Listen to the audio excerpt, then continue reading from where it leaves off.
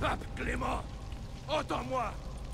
Avant que l'année ne soit écoulée, tu répondras de tes crimes devant le Seigneur Tout-Puissant. Et toi, roi Philippe, même le plus abominable des châtiments ne saurait effacer les maux que tu as infligés au Temple. Je vous maudis. Soyez maudits jusqu'à la treizième génération de votre sang. Soyez tous damnés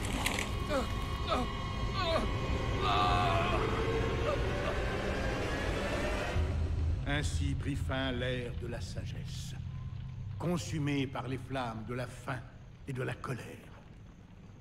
Les chevaliers du Temple, les fiers gardiens ancestraux de la paix, de l'ordre et de la sagesse, venaient tous de s'éteindre.